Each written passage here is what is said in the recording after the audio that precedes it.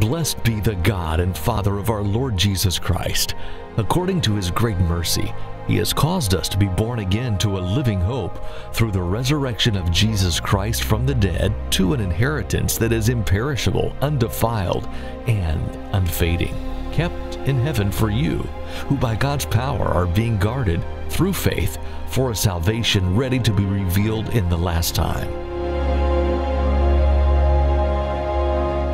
Over the last couple of years, we've all experienced how volatile, unpredictable, and fragile life can be. We've had so many unmet expectations and disappointments, and while our circumstances may look different, the story of suffering dates back to the beginning. Peter knew that life was uncertain too when he wrote to the persecuted Gentile Christians. But he didn't focus on what was uncertain. Instead, he focused on the only thing that we know for sure that because of God's great mercy, he has given us new birth into a living hope through the resurrection of Jesus. When I think about the word hope, I think about things that I wish will happen.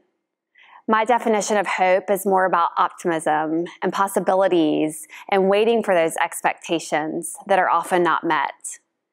But the good news is that that's not biblical hope, and that's not what scripture tells us about hope.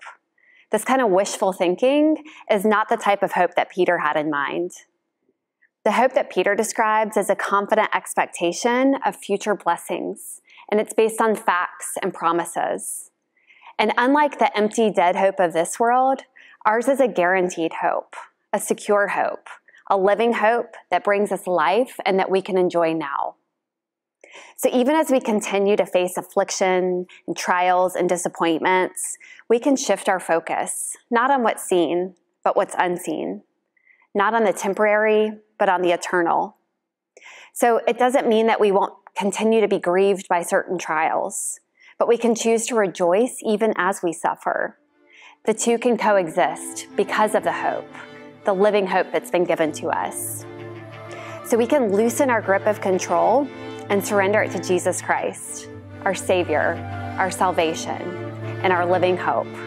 And we can stop and remember this today that through Jesus Christ and this very season, we're given a hope and it's not one that's of optimism or wishful thinking, but it's one that's secure and guaranteed, and it's one that we can experience right now.